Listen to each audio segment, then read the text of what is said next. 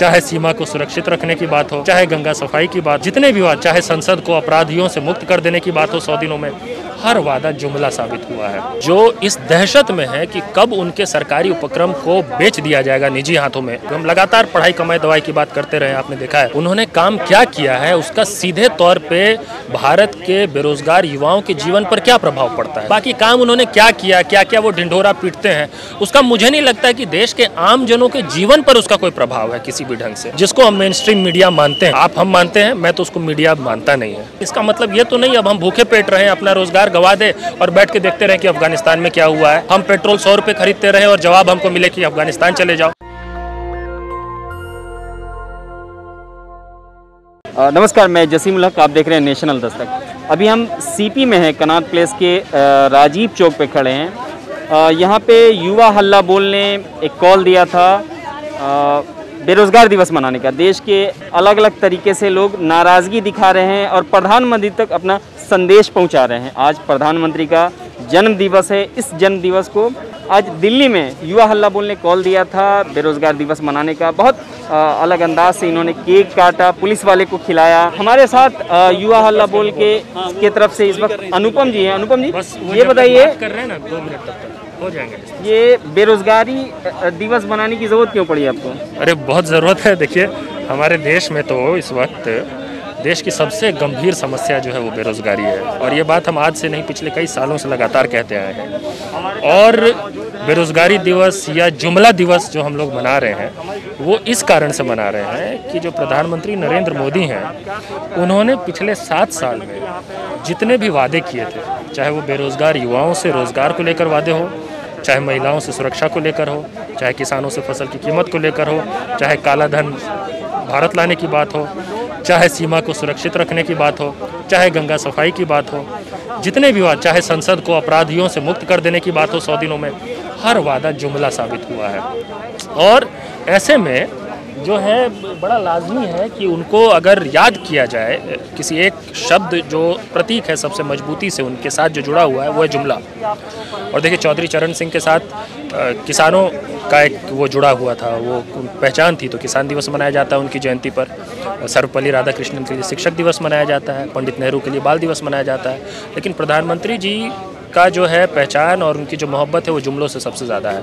तो इसीलिए जुमला दिवस हम लोग मना रहे हैं और इसलिए मना रहे हैं क्योंकि ये लगातार हर तरह के वादे इनके जुमले साबित हुए हैं।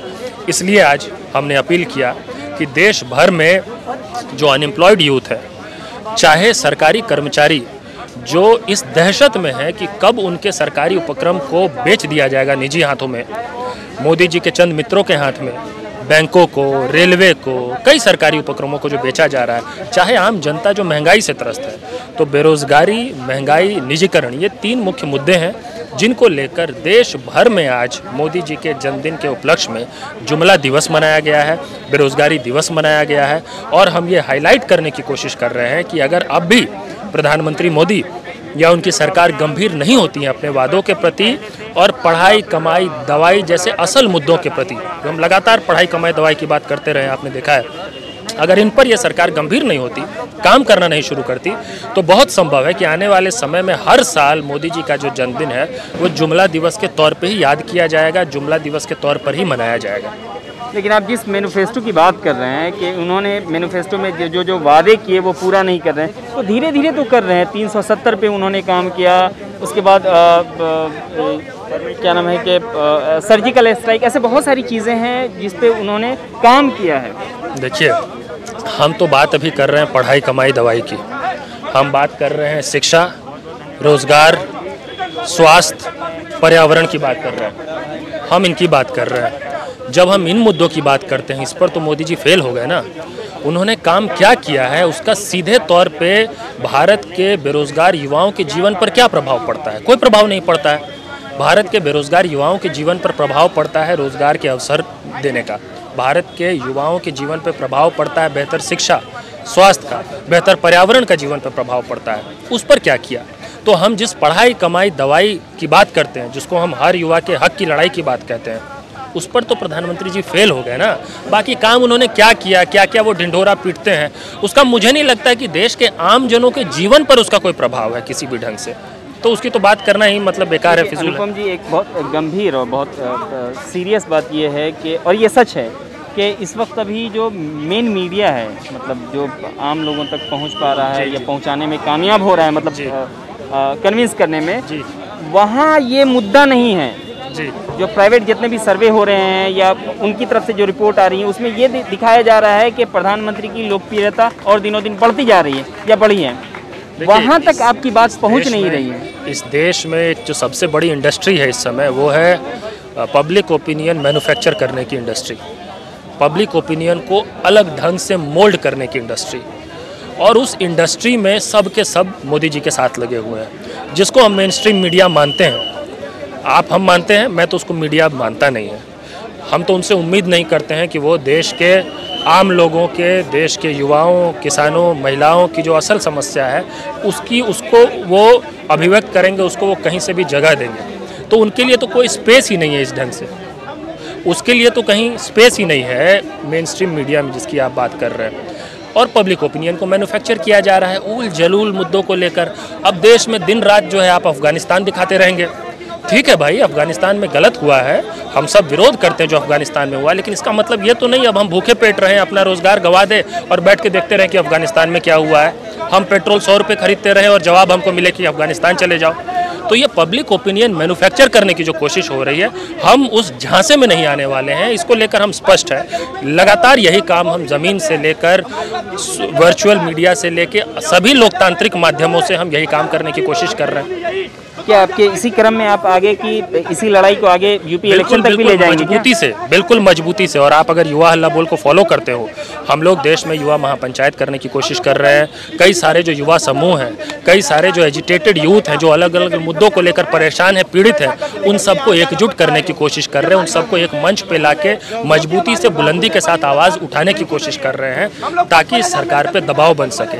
देशव्यापी युवा आंदोलन की आवश्यकता है। आज हमारा देश तभी बचेगा अगर यूथ मूवमेंट एक बड़े स्तर पे कंस्ट्रक्टिव यूथ मूवमेंट होगा।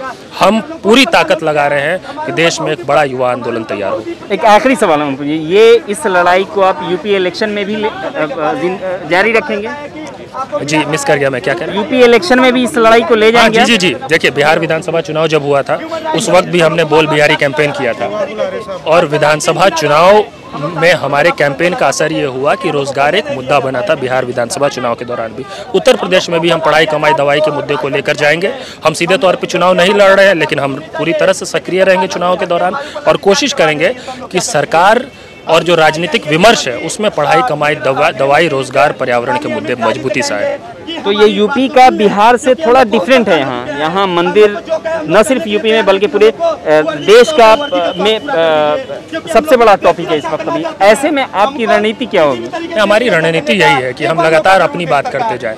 हम लगातार उन मुद्दों की बात करते जाए जिन मुद्दों से हमारे जीवन पर असर पड़ता है प्रभाव पड़ता है। हम लगातार उसकी बात करते रहेंगे उसके लिए संघर्ष करते रहे। बस यही हमारी कोशिश है। उसी का युवा हल्ला बोल कैंपेन कर रहा है। ये अनुपम जी थे हमारे साथ। अभी युवा हल्ला बोल की तरफ़ से अपनी बात रख रहे थे, जिसने यहाँ पे कॉल दिया था जुमला दिवस जिसने पूरे यहाँ पे ऑर्गेनाइज हुआ।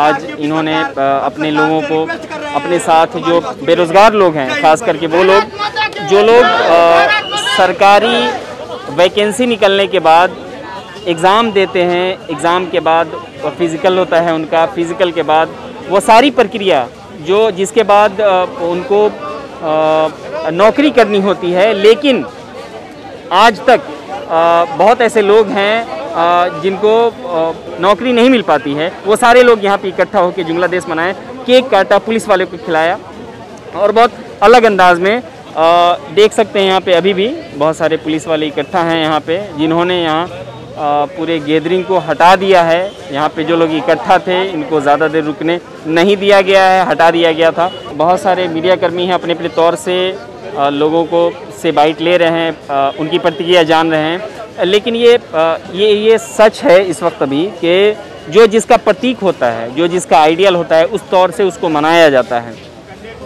चाहे वो शक्ति दिवस के तौर पे हम इंदिरा गांधी की बात करें या बाल दिवस के तौर पे जवाहरलाल नेहरू, ऐसे बहुत सारे यहाँ पे आइकन रहे हैं जो जिनके प्रतीक रहे हैं उस रूप से मनाया जाता है। लेकिन पिछले चार पाँच सालों में पाँच सालों से तकरीबन देश के अलग अलग हिस्से में आज के दिन जो 17 अ, सितंबर है आज प्रधानमंत्री मोदी जी का जन्म दिवस है बर्थडे है उनका आज तो आज के दिन लोग अलग अलग हिस्से में जुमला दिवस तो कहीं बेरोजगारी दिवस के तौर पे मना रहे हैं। उसकी सबसे बड़ी वजह ये है कि जो वायदे उन्होंने किए थे रोज़गार को लेकर, महँगाई कम करने को लेकर वो सारे वायदे फेल होते दिखाई दे रहे हैं।